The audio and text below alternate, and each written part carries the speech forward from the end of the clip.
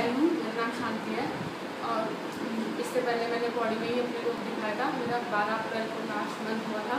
तो उसके बाद मैंने खुद यू टेस्ट किया, जो तो वो पॉजिटिव था।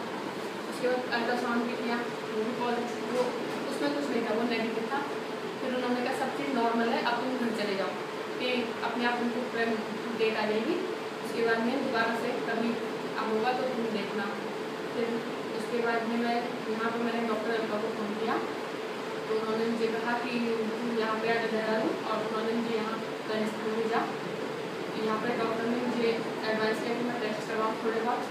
तो जो टेस्ट वगैरह कराए उसके बाद में उन्होंने मेरे जो नाल में है वो, कि उन्होंने बताया कि नाल में बच्चा फंस गया है, उसको निकलवाना पड़ेगा। उन्होंने दूरबीन के द्वारा मेरा मुझे ऑपरेट किया और उसके बाद में उन्होंने बच्चा निकाल दिया है। और उससे उन्होंने ना मेरे नाल को काटा ना ही उन्होंने मेरे कोई और छेड़खानी की उन्होंने कहा है कि नाल को काटने की वजह से तुम्हें आगे प्रॉब्लम हो सकती